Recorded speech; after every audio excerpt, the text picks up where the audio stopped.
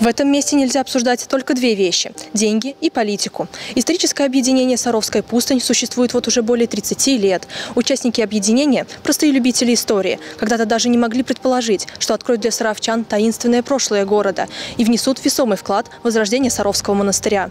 В новом выпуске передачи «Лица Сарова» основатель объединения Анатолий Агапов рассказал нам о своем детище и о том, как оно стало чем-то большим, чем просто хобби. Наиболее известными и значимыми для города стали три краеведческие работы исторического объединения «Саровская пустынь». Это установка камня на месте, где тысячу дней молился Серафим Саровский, поиски и вскрытие купальни на ближней пустынке и, наконец, раскопки и открытие саровских подземелий. Интересно было то, что все эти события практически совпали по времени со вторым обретением мощей Серафима Саровского. Но обо всем по порядку. Мало кто догадывается, но именно любительское историческое объединение стало инициатором и активным деятелем в вопросе раскопок монастырских пещер. После подписания подписании всех документов и разрешений раскопки подземелий под монастырем начались силами членов Саровской пустыни в апреле 1992 года. Об этом так вспоминает Анатолий Агапов. Пещера – это была тайна. И она привлекала. И мы где-то начали спрашивать старожилов, где, были, где был вход в пещеры. И э, много людей мы спрашивали – и каждый из них приходил и показывал место, где, по их мнению, был вход. Вот. И этот э, вход было непонятно. Он отличался на огромное количество метров. Мы не знали, где копать, потому что просто... Э, но однажды к нам пришел человек, который сказал, что я знаю, где вход. А мы задали вопрос, а вы будете с нами копать? И он согласился с нами копать, и мы, я точную дату могу сказать, 18 апреля 1992 года начали раскопки там, где он указал. Труд был тяжелый, нам все помогали, потому что пришлось вывести около 25 самосвалов мусора, которым были забиты эти вход в пещеры. Проблема стала, надо копать то, что можно копать. И вот представляете, 22 июля мы были на глубине, и вдруг пошел, ну, я не знаю, как обозначить, такой специфический запах подземелий. Вот он какой-то такой, не знаю, холодный был. И мы начали вот это место уже четко копать. И когда мы увидели, что есть провал, ведет куда-то, а уже было, а мы копали до темноты, то есть это примерно часов 10 уже было, мы решили закрыть это место и на, на следующий раз, на следующий день подготовиться к тому, что, может, мы туда пролезем. Ну, а это была уже э, серьезная вещь. Почему? Потому что подземелья, они опасны, там надо дышать, поэтому э, мы приготовили фонари, значит, э, каски у нас были. Вот Леша Недошивин, он у нас был, снабжал нас всем этим. И на следующий день мы начали докапывать. И когда докопали, вот что можно было пролезть, было принято решение, что мы уходим в подземелье туда, два человека, я и Илюша Недошин И мы пройдем недолго. Зажгли свечку, спустились туда, свечка горела,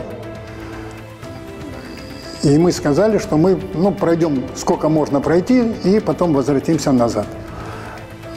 Я не помню сколько, но ощущение было какое. Э, могу сказать, что она у меня так и осталась. Мы шли по а, грунту, который, может, напоминал лунный, какой-то мягкий такой грунт, и запах воздуха был тоже своеобразный, типа озона, ну какой-то специфический вот такой.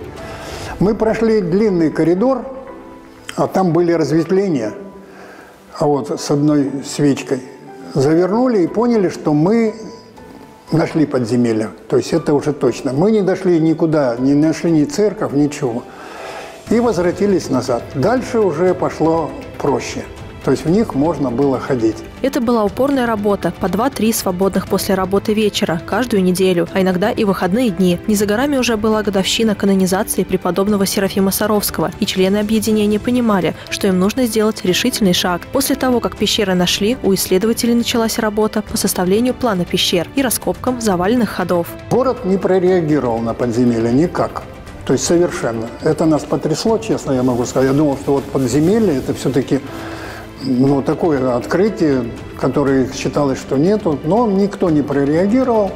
И мы честно стали зарывать подземелье. Просто засып, засыпали там трехметровым слоем.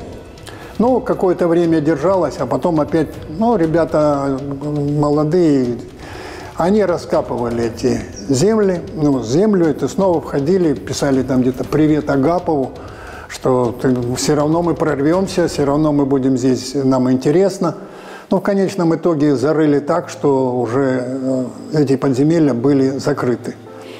В конечном итоге, когда начали делать памятники природы, уже начали серьезно заниматься, эти подземелья отнесли к городскому музею. В экспозиции исторического объединения в Духовно-научном центре есть интересный экспонат с необычной судьбой, который связан с историей открытия пещерного комплекса. Анатолий Александрович, расскажите про это, этот экспонат, что это? Этот экспонат, вообще-то надпись подземной церкви, имеет удивительную историю. В 1711 году была освящена церковь подземная крипта в честь Антония Феодосия Печерских – и в честь этого э, была сделана надпись на одном из столбов этой церкви. И когда мы открыли уже в наше время, то есть в 1982 году, то эта надпись была. Мы хотели ее расшифровать, а потом действительно расшифровали, когда она освещена. И так подземный ход жил. Но в одно из каких-то событий эта надпись исчезла. Это примерно лет 15 назад. Ее вырубил, ну, кто-то, не буду говорить, варвар или не варвар, потому что он исправился, и она исчезла. Но исчезла и исчезла. Через некоторое время отцу Никону, настоятелю Саровского монастыря, пришел человек и принес эту надпись. Чувствуется, не знаю, там совесть у него заговорила или нет. И мы ее уже поставили сюда. Почему? Потому что, зная, какая была надпись, мы в подземелье наших, в этой церкви поставили свою надпись которая была сделана на русском языке и на старославянском языке. То есть вот здесь это надпись 1711 года. Авиационный специалист по образованию, сотрудник РФЯЦ Анатолий Агапов заинтересовался историей случайно. Дело было в турпоходе на Тяньшань. В компании туристов был один товарищ, который задал Анатолию Александровичу вопрос на засыпку. Ты знаешь, в каком городе ты живешь? Ну, я приехал в город Арзамас-16. Я говорю, ну, Арзамас-16, все, закрытый город, ясно. А ты знаешь, кто такой Серафим Саровский? Я говорю, я понятия не имею, кто такой Серафим Саровский. А вот, ну как же так? Вот, в общем, меня он ну, настолько достал, что я ему, в общем-то, сказал, Леша, больше на эту тему, потому что время было другое, и религии никто не говорил. После поездки Анатолий Александрович пошел в музей, чтобы узнать об истории своего города. Но там ему намекнули о том, что тема эта закрытая. Как говорится, запретный плод сладок. Так увлекающийся и деятельный молодой конструктор в НИЭФа начал интересоваться прошлым Сарова. Леша Федоров, он тоже организатор, организовал в Доме ученых такой историко-философский клуб – в Доме ученых много клубов, в том числе возник и такой. Но в процессе произошло разделение. То есть история есть история, а религия есть религия. То есть из философского клуба вышла, в общем, наверное, а, наша а, церковная жизнь. А от нас вышло историческое объединение «Саровская пустынь». Вот. В Доме ученых у нас был клуб, у нас было место, где мы регулярно собирались, и потихонечку образовался костяк.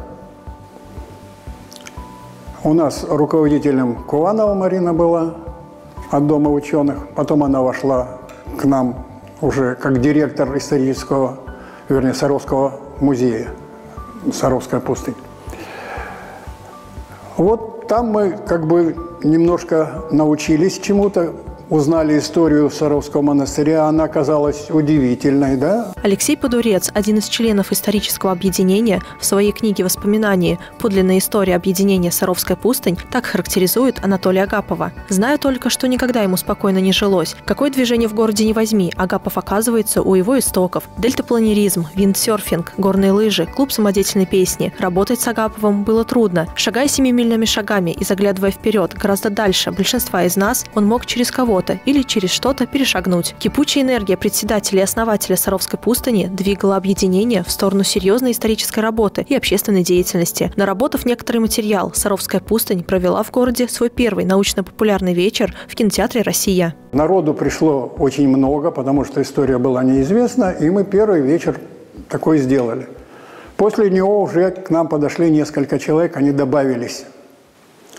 Когда мы начали ездить по архивам, и уже появились интересные вещи, Дом ученых говорит, вы должны тоже работать для Дома ученых, сделайте вечер. Ну, положено так. И мы решили сделать вечер «Тайны Саровской пустыни», где было и Саровские подземелья, и приезд Николая II, то есть новые вещи, которые в городе были еще неизвестны. Когда мы первый раз делали этот вечер, народу было очень много – и руководитель Дома ученых сказал, давайте сделаем второй вечер. Мы сделали второй вечер и третий. То есть это был...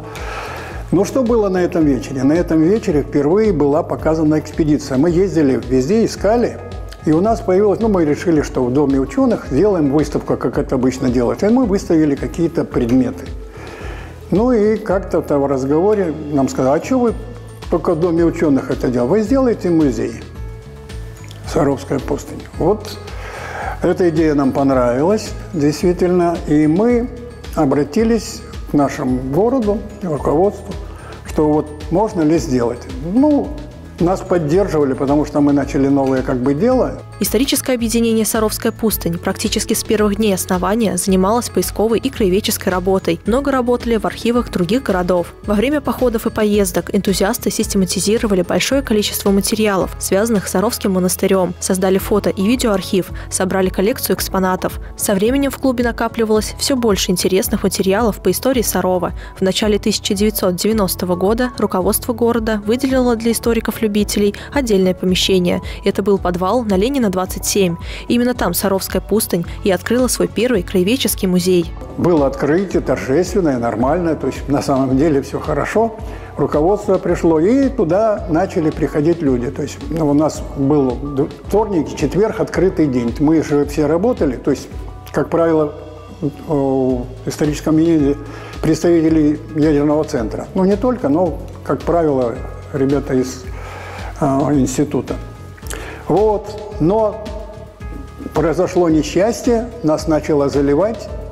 Это нас преследует, наверное, все время. В общем, а, город выделил нам новое помещение. Когда мы переехали, уже в 90-м году это было, в бывшая милиция, там был вытрезвитель. Представляете? И тут шутили, не зарастет туда народная тропа, потому что туда все время возили, а теперь, когда открылся музей Саровская пустынь, мы тоже там все делали своими руками. Все делали своими руками, и этот музей просуществовал до 2006 года, пока э, его не закрыли. Вот э, образовался круг людей. Теперь немножко о людях. Да? Мы организовались так, что будет ну, как, как все это обычно, как делается в клубе. Есть председатель, значит, и есть какой-то руководящий состав. Вот у нас Алексей Подурец, он бы как бы главный теоретик был, он и сейчас так выполняет эти все функции. А вот главным краеведом Сергей Павлович Егоршин стал, а секретарем у нас а, бессменно это а, Ирина Малышева – ну, вот это вот как бы руководящий. А потом все члены занимались какими направлениями. Кто ездил в архив, тогда у нас а, уже Марина Кувановна была здесь, Оля Плаксина тоже пришла здесь. Валерий Кожевников тоже, то есть начался набираться состав уже приличный. То есть у нас примерно там до 20-25 человек было, которые работали. Один из уникальных и ценных экспонатов Саровской пустыни – это карта Саровской дачи генерального межевания 1784 года времен Екатерины II. Ее нашли на территории Мордовского заповедника, и когда Анатолий Агапов был там в гостях, то получил в подарок от сотрудников заповедника этот исторический экземпляр. Однажды карта сильно деформировалась после затопления помещения, где располагалось объединение. Анатолий Агапов срочно начал искать реставратора, и сейчас над картой XVIII века работает сотрудник архива Российской Академии Наук. Когда я впервые увидела эту карту, я поняла, что ее можно сохранить. Э, конечно, первоначально блеска и красоты добиться будет невозможно, но сохранить ее как документ вполне реально. Документ со всеми вытекающими, как сказать, со всей вытекающей информацией. Э, потрясающе интересный. Но карта находится в руинированном состоянии, бумага попадала, на бумагу попадала и вода, и плесень в большом количестве. Большие площади механических повреждений. Ну, так как это старая тряпичная бумага, выполнена в самых лучших традициях из самых лучших стабильных материалов, то ее можно попытаться сохранить и продлить ей жизнь дальше. Вот э, такое руинированное состояние карты. Ну, на отдельных участках сохранилась интересная информация. Там есть и э, картуш, там есть и точная дата, когда была эта карта сделана. Это 1784 год. И есть несколько таких фрагментов, где сохранились записи старыми железогаловыми чернилами, которые в хорошем состоянии физическом находятся. После закрытия музея, по воле судьбы, историков принял под свое крыло Свято-Успенский монастырь Саровская пустынь, чье название носило историческое объединение. Теперь экспозиция музея располагается в здании Духовно-научного центра. На протяжении всей истории существования объединения главной задачей его членов было исследование прошлого Саровского монастыря и всего, что с ним связано. Так, силами участников Саровской пустыни был установлен аналог камня Серафима Ефима Саровского между ближней и дальней пустынками, который по размерам и форме похож на оригинал. Перед тем, как начать поиски камня, историки расспросили о нем местных старожилов. По их словам, камень убрали в богоборческие времена в конце 50-х годов. Саровская пустынь пыталась обнаружить хоть какие-то его следы, полагая, что он имеет прямое отношение к преподобному. Но после работы с письменными источниками выяснилось, что это был не оригинал, а аналог, установленный только в 1890 году на месте утраченного после смерти отца Серафима камня камня. Оригинальный валун размером в несколько метров был к тому времени разобран на сувениры паломниками и дивеевскими сестрами, поэтому Саровская пустынь решила найти в окрестностях города похожий на оригинал камень. Был такой краевед Владимир Михайлович Ганькин. А вот, интересный человек, он всю округу знал и знал, где какие камни лежат. Эти камни принес ледник очень давно, 12 тысяч лет назад. Эти камни разбросаны у нас по округе. Но мы встретились с монахиней, Серафима-Девевского монастыря, она еще была жива, Софья Александровна Булгакова. И она нам, у нее был осколок камня настоящего, на котором молился Серафим Саровский, потому что этот камень монахини с помощью огня и воды разломали на части, он треснул, и у нее был осколок этого камня. И вот Валентин Александрович Степашкин, он, значит, попросил ее, а можно ли отбить от этого камня для нас? Ну, она разрешила, и отбили. И мы этот кусочек камня, какая его структура, уже знали. И обратились, и вот при помощи этой маленького камушка мы нашли такой камень.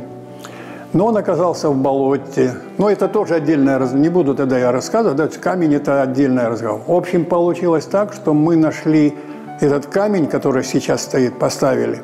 Он оказался по истории третьим. Первый был, который разрушен. Второй был, когда Приезжал сюда царь Николай II, в советское время его зарыли – а третий мы поставили, будем надеяться, что он так останется. Что еще сделало историческое объединение «Саровская пустынь» и не перечислить в небольшой передаче. Это и благоустройство саровских серебряных ключей, и раскопки купальни на ближней пустынке, где в 1903 году была царская семья, и постройка часовни над камнем Серафима Саровского. То, что началось с простого увлечения, уверенно и семимильными шагами переросло в научные изыскания, исторические труды и общественные проекты. Объединение «Саровская пустынь» – это история увлеченных и смелых энтузиастов, энтузиастов, которые сами оставили свой след в летописи Сарова. Во многом благодаря коллективу Саровской пустыни и ее основателю Анатолию Агапову эта летопись вообще существует. Я думаю, что вот это то, что вы обратились ко мне, да, заставит меня сейчас обратиться, чтобы мы написали подлинную историю исторического объединения «Саровская пустынь» с подробностями. Поэтому я вам могу только выразить благодарность, что вы меня, так сказать, спрашиваете, а я вспоминаю.